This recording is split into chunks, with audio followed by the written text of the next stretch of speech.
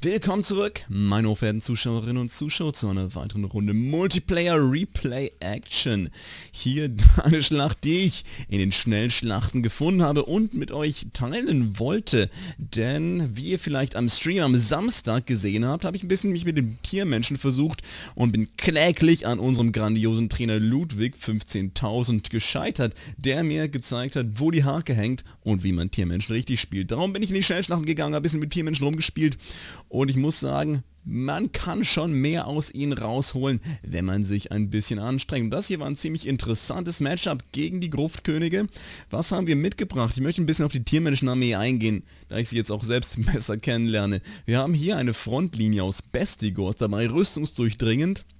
40 Nahkampfangriff, gute Rüstung von 95 allerdings nur eine erbärmliche Nahkampfabwehr von 24. Das heißt, sobald sie gegen irgendwas anderes kämpfen, das rüstungsdurchdringend ist, sind sie ziemlich schnell tot, aber als Überraschung ganz gut, denn Gegner erwarten normalerweise nicht so viel gepanzerte Infanterie. Dann gibt es hier noch das legendäre Koroks Menschenreißer Regiment. Besonders zeichnen sie sich dadurch aus, dass sie Bonus gegen Groß haben. Gerade wenn Konstrukte ankommen oder Streitwagen, können die hoffentlich die Linie halten. Auf der anderen Seite, Morge der Schattengeborene, die eine der fiesesten Chaos Viecher, die es überhaupt gibt. Wenn ihr auch so werden wollt wie ihr, dann, keine Ahnung, dann müsst ihr Korn, Slanisch oder Zinsch anbieten. Einer eurer Wahl. Ich weiß jetzt ehrlich gesagt nicht, wem Morge der Schattengeborene eher angehört. Mutationen sind ja irgendwie so eine generelle Chaos-Sache. Absoluter Panzer, Regeneration, magische Resistenz, unfassbar viel Resistenz gegenüber Pfeilen, Missile, Geschossresistenz 75% ist ziemlich schwer kaputt zu kriegen. Ein Schaman-Zauberer mit Schattenmagie, Melkors mystisches Miasma, um Gegner zu verlangsamen und das Pendel gegen die Infanterie. Das kommt von vorne. Der Trick an der ganzen Armee war, auf dieser Karte konnte man sich auch hinterm Gegner platzieren, dass hinter unserem Gegner eine riesige, ein riesiger Haufen aus Ungors steckt. Ungors und die Zerstörer von Drakenwald mit Gift, die sehen so ein bisschen aus wie kleine Teufelchen. Das ist jetzt nicht unbedingt die stärkste Infanterie, aber um Skelette kaputt zu hauen, reicht es mit 28 Nahkampfangriff. Insgesamt, die wollen dem Gegner in den Rücken fallen und was ich auch von Ludwig gelernt habe, viel, viel Kavallerie mitnehmen, Centigors und Chaoshunde mit Gift. Chaoshunde mit Gift, einfach für den Debuff, das denen das Gift gibt. Und die Centigors mit 29 Nahkampfangriff halbwegs okay, aber ihr besonderer Vorteil ist der Angriffsbonus von 45. Das heißt, man muss sie immer Cycle chargen, wenn man Erfolg haben will. Perfekte Vitalität lässt sie auch am bis zum Ende des Kampfes noch gut dastehen und eine ganz, ganz wichtige Einheit, Multi Purpose Unit Centigors mit Wurfäxten. Nicht nur sind sie im Nahkampf gar nicht mal so übel mit 27 Angriff und 20 Abwehr. Klar, nicht super gut, aber okay. Sie haben 32 Waffenstärke und immer noch einen guten Angriffsbonus von 32, also die kann man auch am Ende noch zum Cycle Chargen ganz gut benutzen. Sie haben vor allem unglaublich starke Wurfwechsel, die sie beiwerfen können. Schaden durch rüstungsdurchdringende Geschosse 22 und zerlegen somit gegnerische Generäle und anderes gepanzertes Zeug im Nu. Und diese Armee ist so aufgestellt, dass von vorne diese gepanzerten Einheiten und Helden kommen, das Feuer auf sich ziehen sollen und im Hintergrund warten die ganzen Ungors im Wäldchen, um den Gruftkönigen in den Rücken zu fallen. Ich hatte Glück, wir haben uns gerade so aufgestellt, dass wir nicht gesehen worden sind von der gegnerischen Armee. Glück gehabt. Mein Gegner, was hat er mitgebracht? Wir haben einen Haufenweise Skelettkrieger, die sind schon mal sehr gut, um durch die Ungors und die Bestigors kaputt gemacht zu werden. Ein, ein Anti-Infanterie-Regiment hatte allerdings die Wache von Kepra, super starke Anti-Infanterie-Einheit, super effektiv gegen Tiermenschen. Die regenerieren sich, Bonus gegen Infanterie, magische Angriffe, die tun ziemlich weh. Ansonsten haben wir ein paar Skelettbogenreiter, günstige Plänkler, der der Gruftkönige kann man immer ganz gut gebrauchen.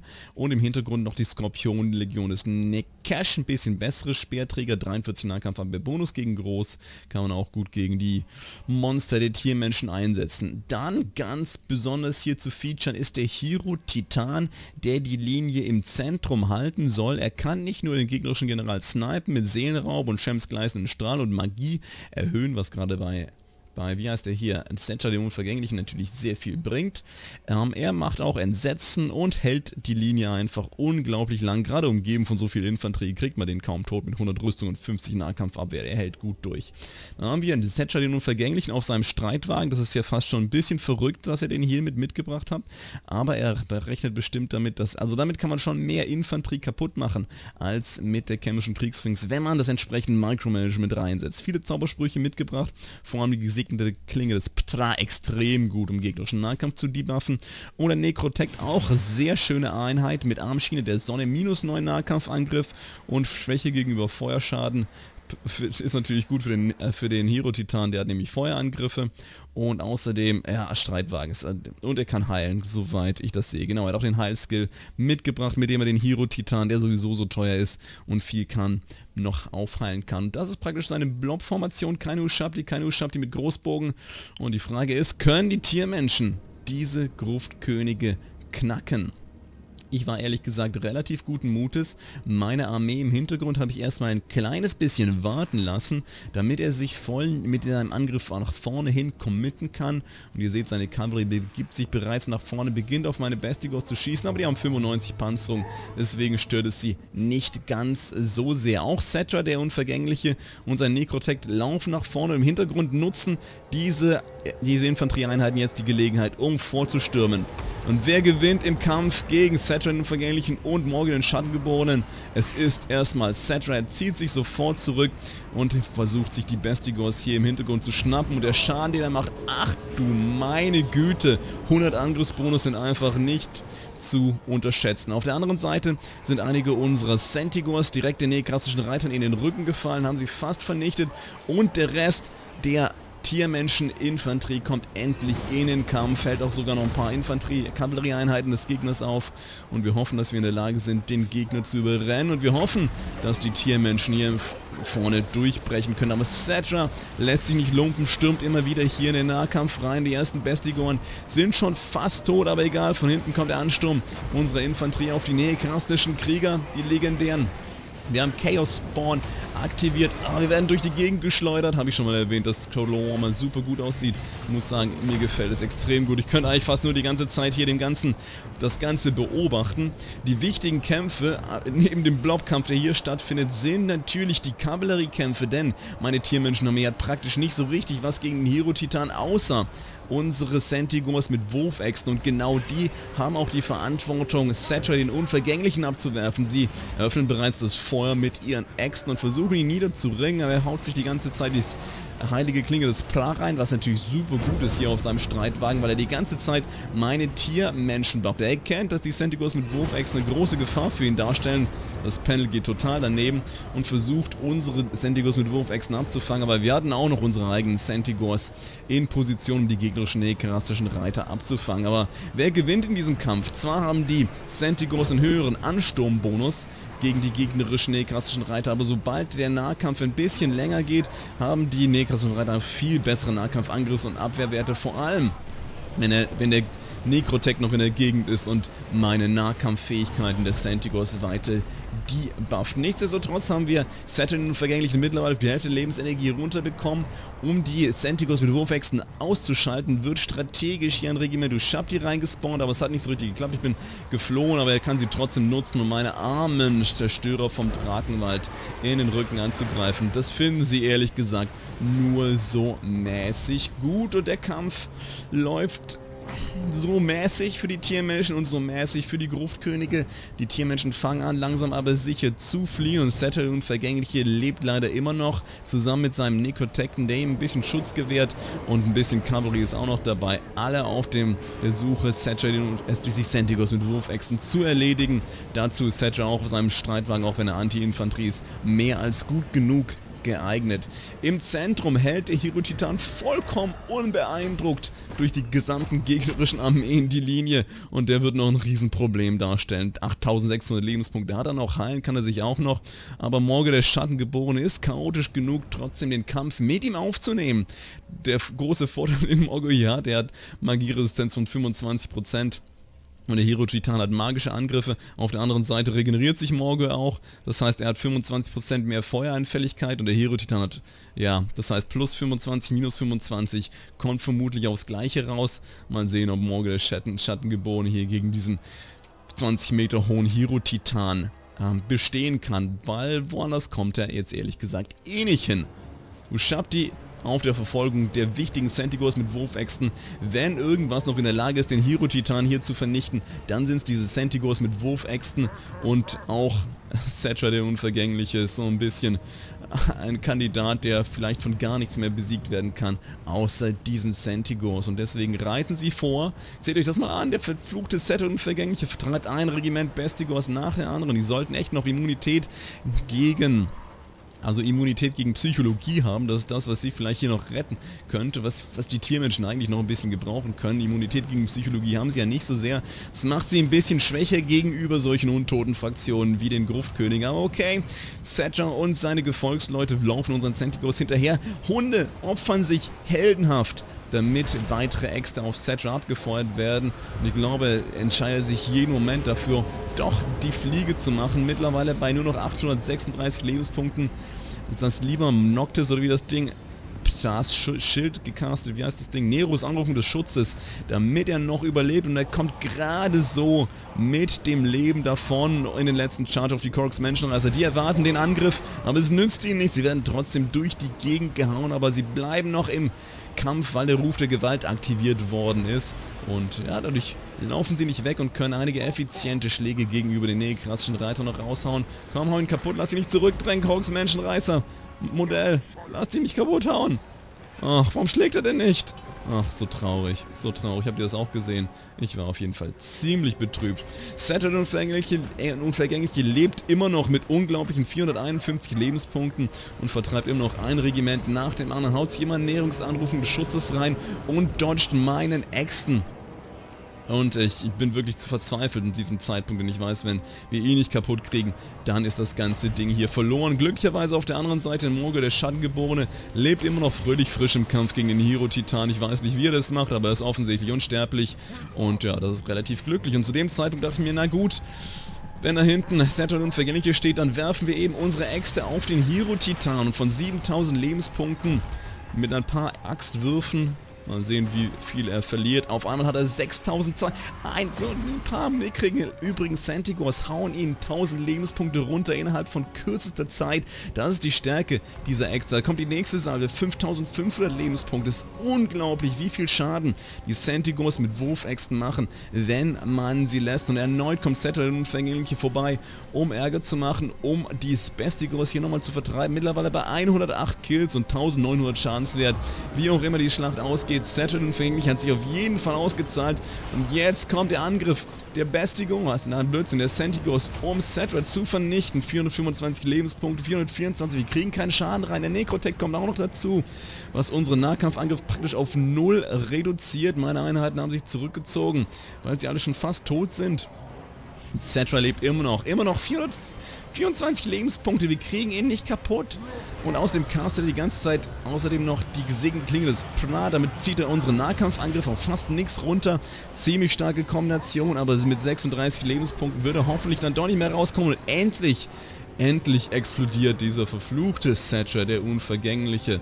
Und im Hintergrund, ihr habt es vielleicht gesehen, ihr habt es vielleicht nicht gesehen, ich habe es ehrlich gesagt auch, mich hat es auch im Nachhinein überrascht, als ich gespielt habe, der Hero-Titan ist fast tot. Und wenn man bedenkt, der kostet glaube ich 2000 Gold oder mindestens 1900 und wird von diesen, von so, so ein paar halbtoten Regimentern Bestigos fast ohne Munition absolut in Stücke geworfen, äh, muss man schon sagen, also die bestige Sentigos mit Wurfex, Entschuldigung, ich wechsle immer den Namen, bitte keine Dislikes, deswegen, es tut mir so leid, sind einfach die absoluten MVPs. Ist, also, ist vergleichbar mit den Schützenreitern des Imperiums, die hauen ähnlich rein wie wie diese Bestigors. Aber ich glaube, die, die, äh, die, wie die Sentigors mit Wurfwechseln. Die Sentigors sind, glaube ich, noch ein bisschen besser vom Schaden her, aber trotzdem ist noch nicht alle Tage Abend. Hier ist immer noch der Hero-Titan, er hat gerade eine Heilung abbekommen. Und wenn hier auf einmal alles anfängt zu fliehen, dann kann es immer noch ziemlich schnell aus sein. Ich meine, die Sentigors hier haben gerade mal 18, 19 oder, oder 20 Nahkampfangriff durch den Debuff des Necrotex, aber, aber er lebt noch. Ich meine, immerhin kann der Hero-Titan nicht fliehen und er haut. Er haut rein. Immerhin hat unser Gegner keine weiteren Einheiten mehr, außer den Hydro-Titan. Er hat so viel Panzerung und Nahkampfabwehr. Und wir haben ja leider nur ähm, Centigors ohne rüstungsdurchdringenden Schaden. Das heißt, ihn richtig kaputt zu machen, ist ein bisschen schwierig. Wir sind fast schon ein bisschen auf Morgen den Schattengeborenen angewiesen, im Hero-Titan noch seine letzten 2000 Lebenspunkte rauszuziehen. Und vielleicht helfen auch noch unsere Centigors, die immer wieder von hinten reinkommen. 1800 Lebenspunkte beim Hero-Titan. Die Flaggen sind uns ein kleines bisschen im Weg. Und er haut einfach weiter drauf, man. Er hat auch seine Glöckchen. Er fängt an zu zerfallen, was natürlich super gut ist für uns. Der Necrotech kommt auch wieder in den Nahkampf rein, haut ein bisschen, debufft uns. Aber interessanterweise scheint... Sche er so richtig viele Modelle killt er nicht. Ich habe Schlimmeres erwartet und endlich geht er zu Boden. Da fällt er episch und dramatisch, nimmt noch fünf von den Centigos mit in den Tod, während er umfällt und ja, ich sage, Morgen der Schatten geboren ist definitiv absolut OP, Leute. Unbeschreiblich, unglaublich und tödlich. Und das war's. Damit kann auch der Necrotech nicht mehr mithalten. Ich muss zugeben, die Tiermenschen gehen wirklich. Also man kann sie spielen. Ich habe bisher immer gedacht, das ist wirklich eine absolute Kackfraktion. Und sie ist bestimmt immer noch nicht eine der besten, aber gerade diese Kombination, also Centigos mit Wurfäxten sind absolute gnadenlose Mörder. Seht euch das mal an. 1200 Schadenswert hier, 2500 Schadenswert hier und 1800. Die Centigors haben ihren Preis zwei- oder dreifach wieder reingeholt. Einfach durch die Äxte, die sie immer wieder geworfen haben und durch die Angriffe, die sie auch immer wieder durchführen konnten. Wie gesagt, gerade gegen Skelette oder gegen Infanterie kann man die auch einfach mal reinchargen lassen. Die haben genug Angriffsbonus, um da Ärger zu machen. Ziemlich beeindruckend. Und wenn, wenn das jetzt nicht keine, keine neokrastischen Reiter gewesen wären, sondern Skelettreiter, hätten die auch gegen die Skelettreiter, denke ich, halbwegs gut bestehen können. Meine Hunde habe ich irgendwie vergessen. Die sind gestorben. Bestigors haben jetzt nicht gerade überperformt, was den Schaden angeht, den ausgeteilten Schadenswert, den sie angehen. Ähm, ich muss zugeben, in dem Matchup hätten es wahrscheinlich auch normale Gors oder so getan, aber die werden wahrscheinlich noch viel früher geflohen. Immerhin waren Koks Menschenreißer noch bis zum absoluten letzten Teil der Schlacht dabei, bevor sie dann doch schließlich noch geflohen sind. Ähm, aber die Streitwagen als Saturday und Vergängliche war auf jeden Fall auch ein MVP, der ist einfach da durchgefahren. War, den voll, war ihm vollkommen egal, ein Angriff, 100 Angriffsbonus, richtig viel rüstungsdurchdringenden Schaden und nichts war da, um die Bestigos zu verteidigen. Da habe ich schon ziemlich hoch gepokert. Er hätte eigentlich fast Thatcher viel die ganze Zeit weiter durch diese Bestigos fahren lassen sollen und seinen Necrotekten. Ich meine, das hat er auch zum Teil gemacht, die haben richtig viele Kills gemacht. Ansonsten, die Ungors waren halt Masse, Masse, um den Gegner abzulenken. Das haben sie auch ganz gut getan. Letzten Endes haben sie gegen die Skelettkrieger halbwegs gut getradet. Insofern, die haben genau das gemacht, was sie sollten. Unsere Schaman, Schattenschamane mit seinem Panel war in Ordnung mit 1000 Schadenswert und Morgan natürlich absolut auch MVP 1700 Schadenswert gemacht. Er hat die ganze Zeit gegen diesen Hero-Titan gekämpft und irgendwie hat er es überlebt. Ich kann es immer noch nicht glauben und am Ende hat er sogar noch gewonnen. Auf der anderen Seite, nee, karastische Reiter, guter Schadenswert von 370k, ist schon ganz in Ordnung. Uh, vor allem die hier mit 929, aber am Ende haben es die Centigors dann doch zusammen mit den anderen Centigors mit Wurfäxten gerissen. Nee, Wache von Capra, Gruftwache, super gut, 1097 Schadenswert. Der Rest war halt nicht so gut. Puh, war auf jeden Fall für mich eine spannende Schlacht. Skelettbogenreiter haben auch wow, 670 Schaden gemacht.